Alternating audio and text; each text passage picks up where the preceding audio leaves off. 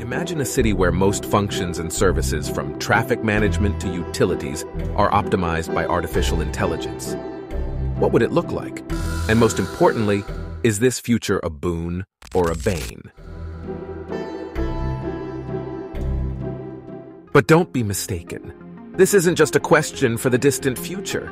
Elements of this AI-led city are already with us today. AI is already transforming how we handle traffic.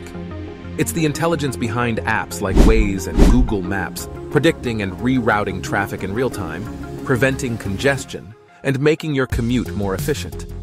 Consider utilities. Google's DeepMind AI has already been used to reduce energy consumption at data centers. Picture this on a larger scale. Smart streetlights, buildings auto-regulating their temperature, an adaptive power grid optimizing energy distribution in real time.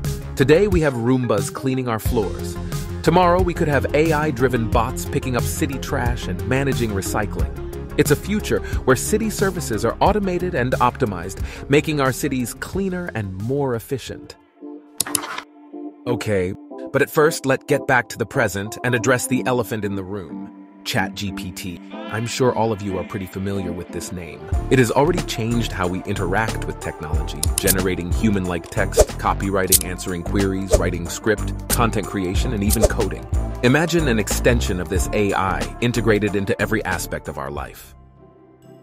But along with the promise come potential problems job displacement due to automation, privacy concerns arising from pervasive data collection, and the risk of bias in AI decision making.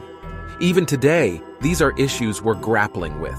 The future might hold AI assistants that know your preferences so well they can predict your needs, or AI driven smart homes that manage everything from temperature control to grocery shopping. But how much of our autonomy and privacy are we willing to trade for convenience? And how far is too far?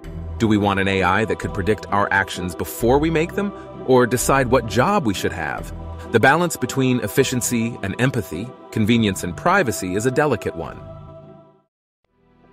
As we ponder whether the AI influenced city is a boon or a bane, remember this the AI driven city of the future is already taking shape. The question is what do we want it to look like, and how do we want to live in it? The answer is up to us.